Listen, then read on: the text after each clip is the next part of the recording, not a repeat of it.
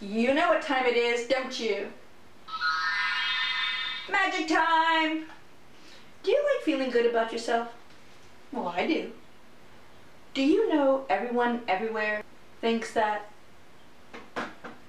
they may not be enough in some way or another? Well, it's true. Do you also know that the better you feel about yourself, the less you will feel like you have to make fun of someone else? That's true too. Magick is using your intention and your imagination to create reality and to shape outcomes. So believing in yourself is one of the very most important things you can do to make the whole world a better place to be. So, do you have your mirror ready? You know, it doesn't matter if it's plain or a little bit fancier. Any one of them will do. You don't even really have to have a mirror in your hand. You can use your imagination. Say it along with me. Are you ready? Mirror, mirror in my hand, I want you to understand. I like who I am and what I see. I like who I choose to be.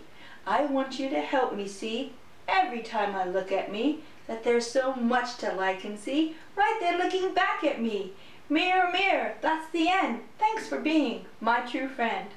So mote it be. Shall we do it again? I like it. How about you? Mirror, mirror in my hand, I want you to understand. I like who I am and what I see. I like who I choose to be.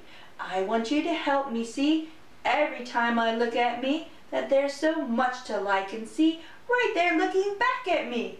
Mirror, mirror, that's the end. Thanks for being my true friend. Magick is believing in yourself. If you can do that, you can make anything happen.